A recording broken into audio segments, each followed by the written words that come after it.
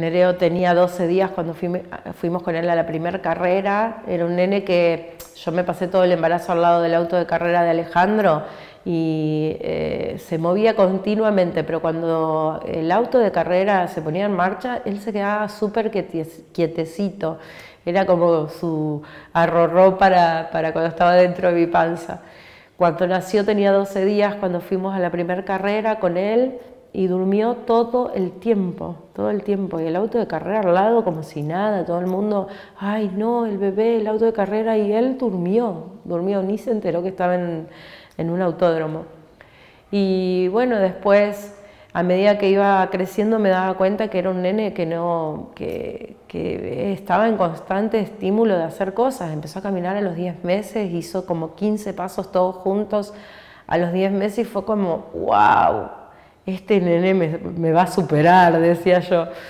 Y bueno, y al, año por ahí, en una carrera en Termas, le, sacaron una foto donde él estaba sacándole las, las tuercas a, los autos de carrera, le gustaba, él le agarraba todas las herramientas. Era un nene que tenía mucho respeto, por ejemplo, nosotros no teníamos que decirle no toques ahí, no, esas cosas nunca se le dijeron a Nereo porque él nunca estuvo molestando, sino que era un nene que él escuchaba que el auto estaba en marcha, él se corría a un costado y ahí se quedaba, ni se preocupaba por, por, nada, se quedaba a un costado, cuando el auto se iba o el auto estaba en silencio, él se acercaba, jugaba, sabía dónde no tocar, no, no, ya, ya demostraba ser un nene que sabía dónde estaba. Y bueno, eh, eh, con el tiempo eh, tenía un, cartincito a pedales y hacía Willy con el cartincito dentro del taller y lo manejaba de una forma que yo decía, por Dios, esto es increíble. Y mi mamá quiero correr y mamá quiero correr y, y, yo le decía a Alejandro, este nene hay que comprarle un karting para que vaya, no para que corra, sino para que vaya teniendo contacto con el, con el, con el auto, que vaya viendo el ruido, eh, que, hace, acelerar, frenar y todo eso. Y Alejandro me decía, no, no, Flavia, no, por favor, es muy chiquito, no, no, no. Y yo notaba que había algo más en él, hasta que, bueno, un, un año él lloraba que quería el karting y bueno, yo me puse a llorar al lado de él para que convencerlo a Alejandro de que le compre el karting y Alejandro con con muchas duras penas decidió darnos, darnos el consuelo de comprar un karting, lo compró y bueno, eh, creo que Nereo tenía cinco años y fueron al autódromo a, dar una vueltita con un motorcito súper chiquitito, nada, y Alejandro me llama, Flavia, vení, vení, no sabés lo que da vuelta, lo que anda, no, no se puede creer cómo sabe dónde doblar cómo acelerar, a dónde, todo, no, no, es un genio.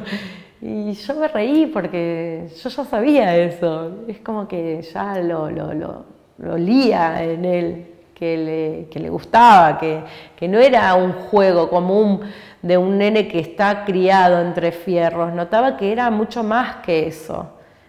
Y bueno, eh, ahí fue cuando empezó y, no paró. no paró en su primer año, a los seis años, eh, corriendo profesionalmente con, con, su, con su autorización, con su carné y todo, salió campeón. O sea, se, se, nota, se nota que le gusta, le das a elegir, qué sé yo, para su cumpleaños el año pasado había una carrera en Concepción del Uruguay. Te quedás, hacemos tu cumpleaños con todos tus amigos o te vas a la carrera. Pero eso no se pregunta, mamá, me voy a la carrera.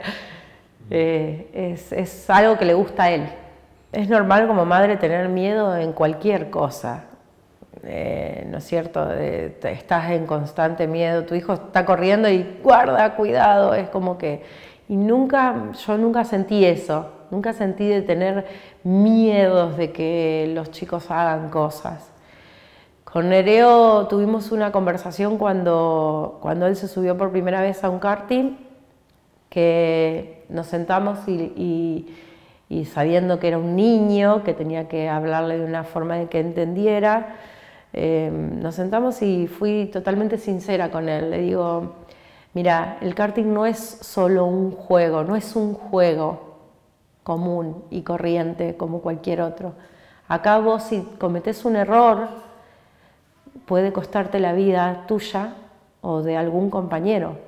O, en lo mejor de los casos o el peor de los casos, eh, podés eh, quedar mal por el resto de tu vida vos o otro compañero. Eh, no es solo un juego, es un juego, es, es una diversión que vos la tenés que hacer con mucha responsabilidad, muchísima responsabilidad tenés que tener. Si algún momento, en algún momento que, vos corras una carrera, notás que vos y el karting no están yendo a la misma sintonía, que el karting no está haciendo lo que vos querés que haga, tenés que bajarte, no importa si estás en la primera o en la última vuelta. Tenés que meterte a boxes y parar. Porque el karting tiene que hacer lo que vos querés que haga. Y cuando vos no notes esa conexión, lo, tenés que dejar porque ahí es donde, donde el ser humano comete los errores, cuando, cuando las cosas no están en sintonía e insiste con hacer algo igual. Y él lo entendió perfectamente, él lo entendió perfectamente, que me acuerdo que en la primera carrera hace un trompo, eh, faltaban dos vueltas para terminar, hace un trompo y los compañeros lo pasan a milímetros. Que yo decía, no suelte el freno, no suelte el freno para que no se le mueva el auto.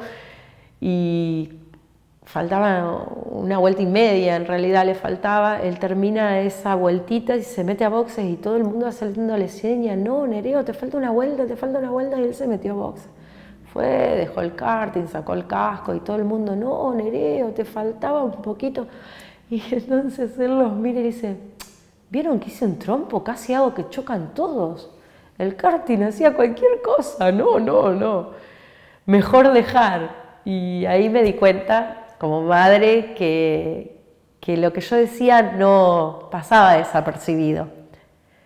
Y bueno, ahí comprendí que, que esa era, ese era mi rol como madre, que él tuviera conciencia de lo que hace, porque, porque el karting te puede costar la vida, el automovilismo te puede costar la vida si bien uno está, no sabe cuándo está la fecha de vencimiento, pero todos vamos a morir en algún momento, como que correr en autos es estar más cerca, ¿no?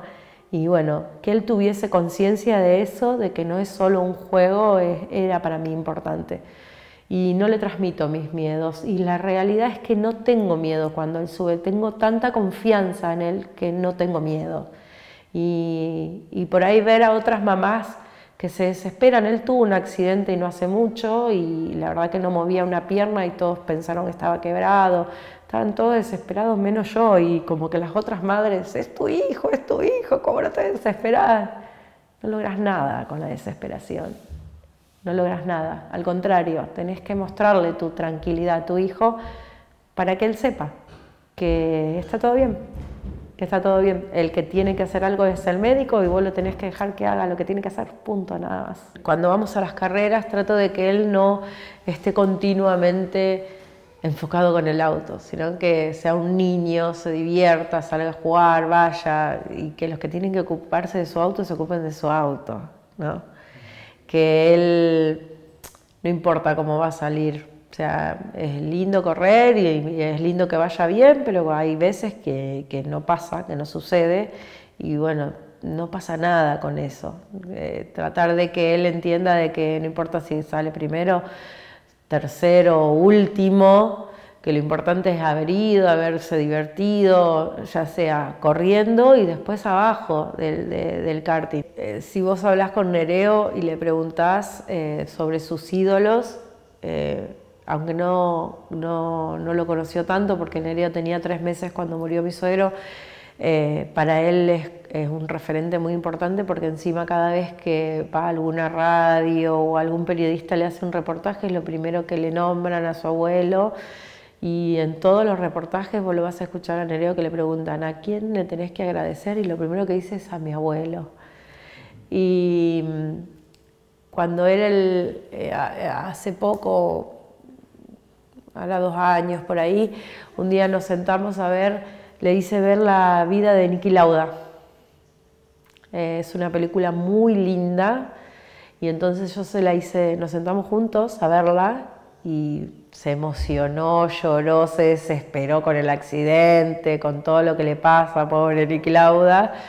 Y, hoy en día cuando vemos alguna carrera donde lo enfocan, mira, ahí está Niki Lauda, ahí está Niki Lauda, y como mamá es lo que a él le guste, no solo eso, porque por ejemplo ahora hace un tiempo que eligió hacer eh, atletismo y me gusta, me gusta llevarlo y todo, obviamente que eh, la primera charla fue, bueno, ¿qué sucede el día que tengas un, un torneo de atletismo y una carrera? No se pregunta eso, mamá, él la tiene clara, él sabe que el automovilismo está primero.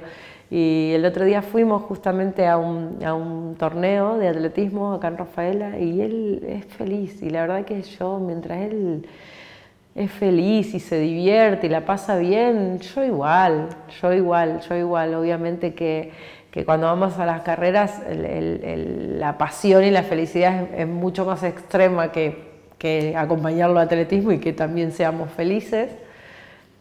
Eh, lo vivo así, lo vivo así, eh, me dejo llevar por cada carrera, por cada momento, es más, este fin de semana él corrió, yo no fui, elegí no ir, elegí no ir porque bueno, eh, yo estoy estudiando y bueno, mi carrera logró tener una importancia un poquito más que ir a una carrera de Nereo porque eh, de verdad me costó tomar la decisión de pensar, digo, bueno, antes no hubiese dejado por ningún motivo de ir a una carrera con Nereo.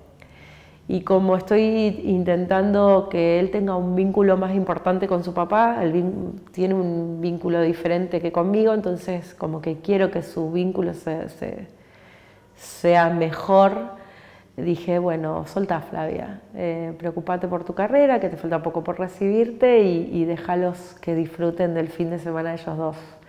Se prendió Nihaya en el medio, así que fueron los tres a la carrera y, bueno, y así creo que debería vivir lo, lo, que queda, ¿no? Porque no sé, no sé lo que nos va a esperar. Probablemente el día de mañana diga, mamá, me aburrí, no quiero correr nunca más.